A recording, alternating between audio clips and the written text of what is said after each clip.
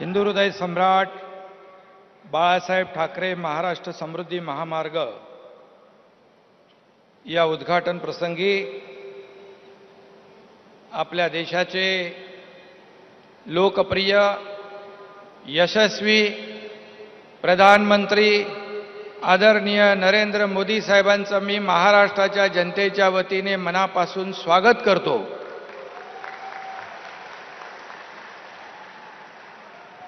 मंचावर उपस्थित राज्यपाल महोदय भगतसिंग कोश्यारीजी नितीन गडकरी साहेब उपमुख्यमंत्री आमचे लाडके देवेंद्र फडणवीसजी रावसाहेब दानवेजी भारतीताई पवार चंद्रशेखर बावनकुळे आमचे मंत्रिमंडळातील सर्व सहकारी खासदार आमदार आणि मोठ्या संख्येने उपस्थित बांधव भगिनी आणि पत्रकार मित्रांनो.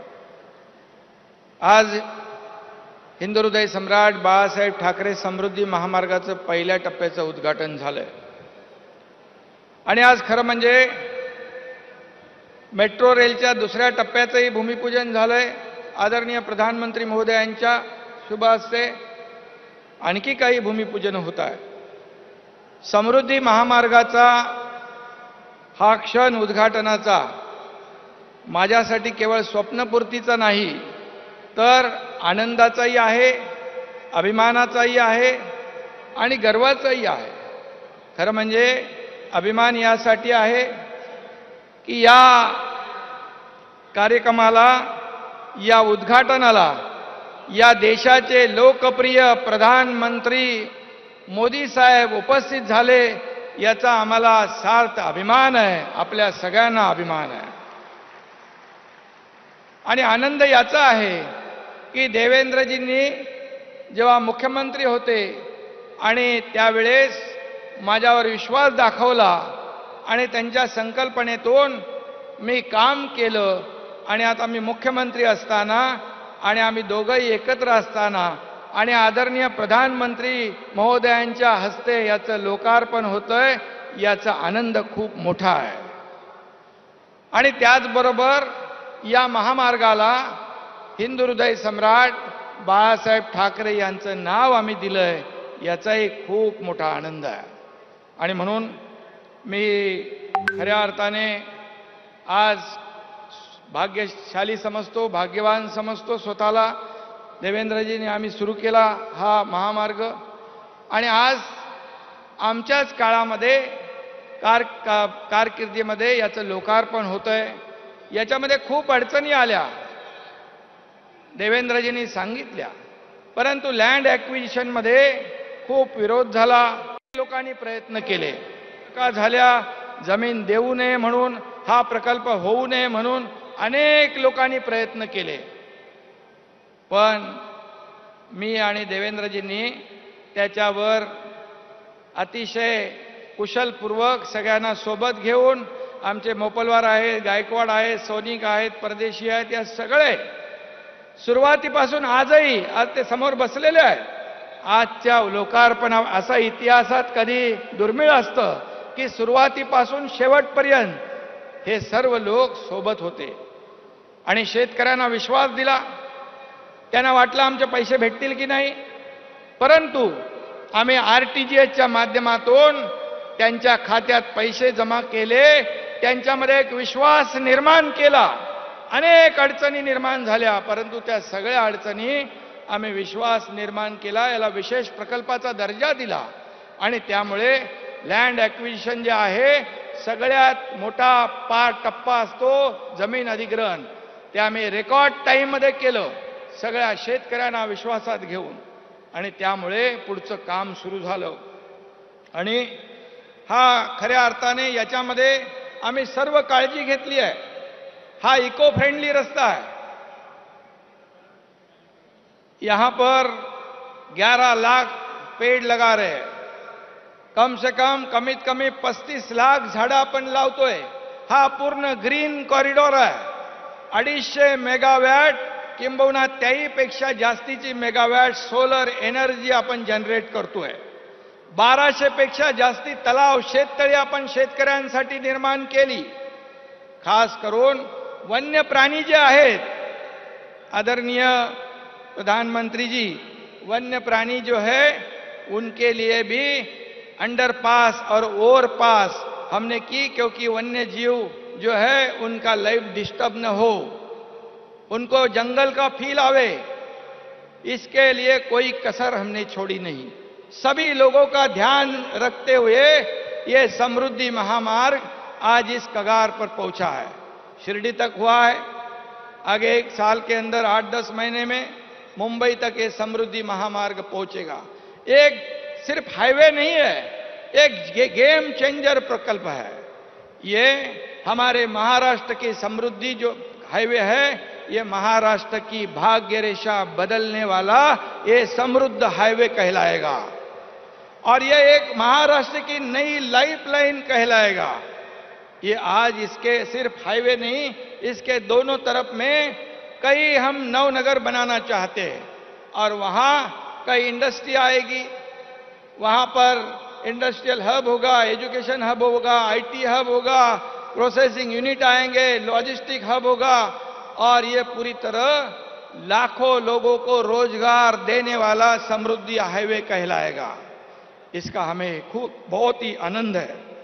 701 किलोमीटर का देश में सबसे लंबाई वाला, बहुत ही वेगवान ये महामार्ग है।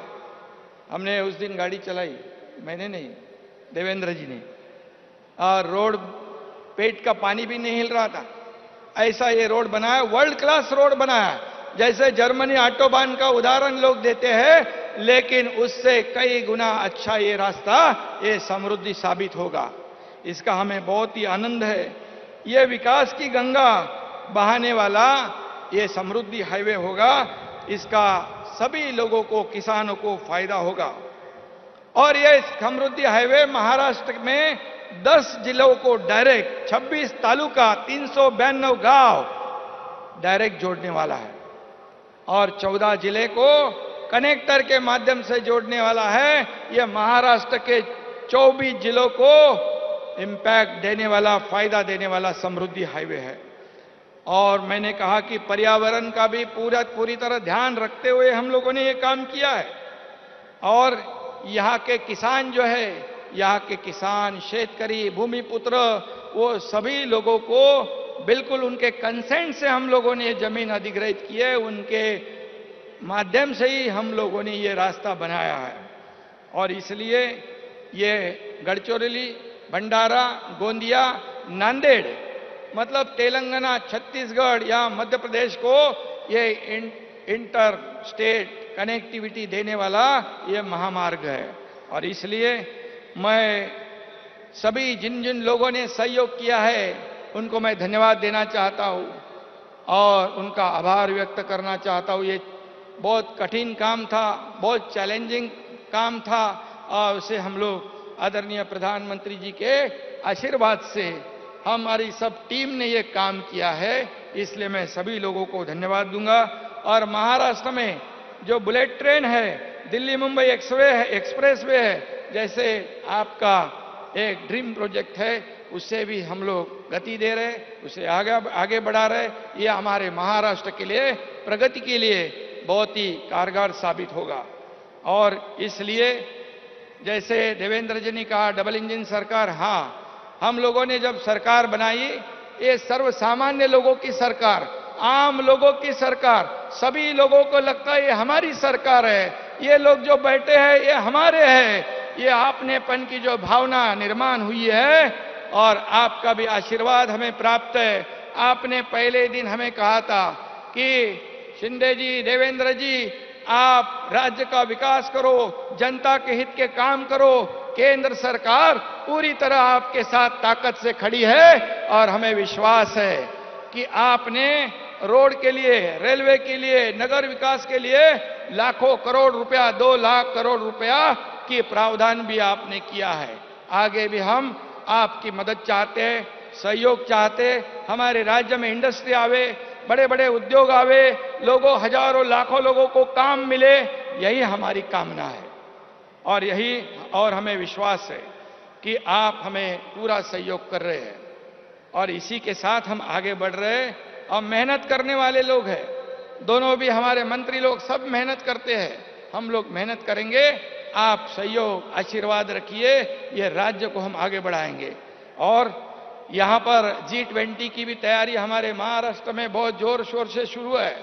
हमें पता है जी ट्वेंटी का क्या महत्व है? जी ट्वेंटी का अध्यक्षता पद मिलना ये हमारे देशवासियों के लिए गौरव की बात है। और आपके नेतृत्व में ये जी ट्वेंटी ये देश में आयोजन होगा। हमारे सभी राज्यों को, मुंबई को, नागपुर को इस राज्य के पूना है संभाजी नगर है हमारा ब्रांडिंग हमारे काम हमारा जो इन्वेस्टमेंट पोटेंशियल है हमारे इंफ्रा प्रोजेक्ट है और हमारा यहाँ ब्रांडिंग करने का शोकेसिंग करने का भी मौका मिला है। ये केवल आपके वजह से मिला है क्योंकि पिछले सात आठ साल में जो हमारी भारत की अर्थव्यवस्था को आपने इतने ऊंचाई पर रख, रखने की कोशिश की है इसीलिए ये ये मुमकिन हुआ है। और मैं कहूँगा, मैं हमेशा कहता हूँ, हमारे प्रधानमंत्री जी ने हमारे देश का नाम पूरे दुनिया में रोशन करने का काम किया है। पूरे दुनिया में भारत का नाम आज रोशन है। आप प्रधानमंत्री, आपके वजह से हम जानते हैं। और इसलिए मैं इतना ही कहूँगा, आगे हमारे महाराष्ट्र के ऊपर आपका आशीर्वाद बनाए रखिए। हम लोग महाराष्ट्र को सर्वांग सुंदर करना चाहते हैं, महाराष्ट्र का सर्व, सर्वांगीण विकास करना चाहते हर एक घटक को हमारे सभी लोग किसान हो, कामगार हो, कष्टकरी हो, हमारी माता बहनें हो, विद्यार्थी हो, शिक्षक हो, सभी लोगों के जीवन में आमूलाग्र बदल लाना चाहते हैं। यही हम चाहते हैं, इसलिए हम आपका सहयोग चाहते हैं। और आप यहाँ पर आज आए ये समृद्धि हाईवे का उद्घाटन किया है ये हमारा सौभाग्य है। इसलिए मैं आपको फिर एक बार धन्यवाद देता हूँ। जय हिंद, जय महाराष्ट्र। एबीपी माझा, उघडा डोळे, बघा नीट।